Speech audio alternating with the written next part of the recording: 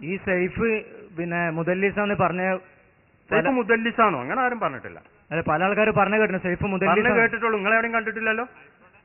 അല്ല ഞാൻ കണ്ടിട്ടില്ലെങ്കിലും നിങ്ങൾ പറഞ്ഞ കേട്ടിക്കണ്. അതെ സൈഫ് മുദല്ലിസാന്ന് പറഞ്ഞ കേട്ടിക്കണ്. മുദല്ലിസാന്ന് എല്ലാവരും പറഞ്ഞു. കേട്ടേ അയാളെ അടുത്തുനിന്ന് ഇത് അയാളെ കൊച്ചി പണ്ഡിതന്മാര് പറഞ്ഞാൽ ഞാൻ അപ്പണ് പറഞ്ഞുതരാം കേട്ടോളി. നിങ്ങൾ കേട്ടില്ലേ ഞാൻ കേട്ടിക്കണത്. അത് ശരി.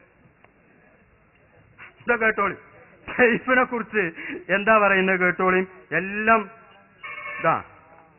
കാലൽ ഹാഫുബിന് ഹജർ തക്രീബു തഹദീബ് എന്ന് പറഞ്ഞ ഗ്രന്ഥം ഉണ്ടായിരുന്ന വായിക്കുന്നത്. നിങ്ങളത് പോയി നോക്കുന്നത് നല്ലതാണ് അങ്ങനെ ഉണ്ടെങ്കിൽ. ആരെങ്കിലും കേട്ട് പറഞ്ഞ് ചോദിക്കാന്ന് പറഞ്ഞാൽ അത്ര ശരിയല്ല. ഉറപ്പുണ്ടായി ചോദിക്കല്ലേ അതാണ്ട്. സൈഫിനെ കുറിച്ച് പറഞ്ഞ എന്തൊക്കെയാ പറഞ്ഞത് നിങ്ങൾ പറയണൊക്കെ ഞാൻ പറയുന്നിട്ട് മറുപടിയും പറയാൻ കേട്ടോളൂ. അതിന് ഒരുങ്ങി വന്നാലേ നമ്മളിന്ന് ആ. കേട്ടോളൂ. കാലൽ ഹാഫുബിന് ഹജർ റഹിമുള്ള തെക്കരീബ് തെഹദീബ് എന്ന ഗ്രന്ഥത്തിൽ പറഞ്ഞ ആരാടുന്ന ആൾ? സൈഫുബിന് ഉമറു തമീമി എന്നാണ് അയാളെ പേര്. സാഹിബു കിതാബി ജിദ്ദ. അർ ജിദ്ദ എന്നൊരു ഗ്രന്ഥവും അദ്ദേഹത്തിനുണ്ട്.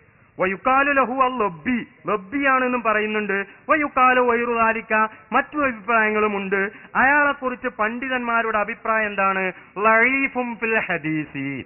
ഹദീസിന്റെ വിഷയത്തിൽ അദ്ദേഹം ദുർബലനാണ്.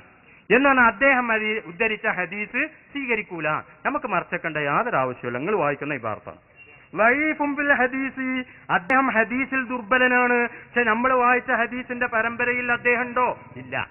അതിനാ ഞാൻ ഹദീസ് ശരിക്ക് ശ്രദ്ധിക്കണം എന്നുണ്ട് ഇബിന് കസീറിന്റെ പരമ്പരയിൽ അദ്ദേഹം ഇല്ല. പിന്നെയോ ഉംദത്തും അദ്ദേഹം ഒരു ചരിത്രം പറഞ്ഞാൽ അതിൽ അവലംബിക്കാവുന്ന വ്യക്തിയാണ്. കബറിങ്ങൾ വന്നതാര് പോയതാര് എന്നുള്ള ചരിത്രപരമായ വസ്തുതയാണ്.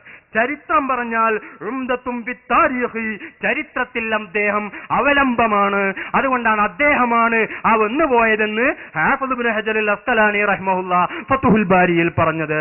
ഇബ്നു ഹജറുൽ ഹൈത്തമി റഹ്മഹുല്ല അൽ ജൗഹറുൽ മുനല്ലമിൽ പറഞ്ഞത്. ഇമാം സുബുക്കി ശിഫാഉ സക്കാമിൽ പറഞ്ഞത് ഹാഫിദ് ഇബ്നു കസീർ അൽ ബിദായ വൻ നിഹായയിൽ പറഞ്ഞത്. ഇനി ഞാൻ ഒന്നുകൂടെ പറയട്ടെ. ഹാഫിദ് ഇബ്നു കസീർ പല സ്ഥലത്തും അഭിപ്രായ വ്യത്യാസങ്ങൾ ഉണ്ടാവുമ്പോൾ ഇതിന് തന്നെ നമുക്ക് വായിക്കാൻ കഴിയും. സൈഫ് ചരിത്രത്തിൽ ഒരു വിഷയം പറഞ്ഞു. സൈഫ് അല്ലാത്തവർ വേറൊരു വിഷയം പറഞ്ഞാൽ ഇബിന് കസീർ അവിടെ അവലംബമാക്കുന്നത് സൈഫിനെയാണ്. ഇതിനെ വായിക്കാൻ കഴിയും. വേണമെങ്കിൽ ഞാൻ വായിച്ചുതരാം.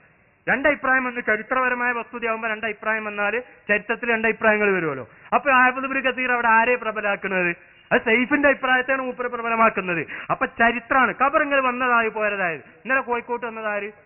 പോയതാര്? അത് ചരിത്രപരമായ വസ്തുത. അവിടെ വന്നു എന്നുള്ളത് വരെയാണ് ഹദീസുള്ളത്. ആ ഹദീസിൽ സൈഫ് ഇല്ല അതുകൊണ്ട് സൈഫ് ഉള്ളത് കൊണ്ട് സൈഫിനെ കാട്ടി ഈ ഹദീസിനെ കുറിച്ച് ഒന്നും പറയാൻ കഴിയില്ല.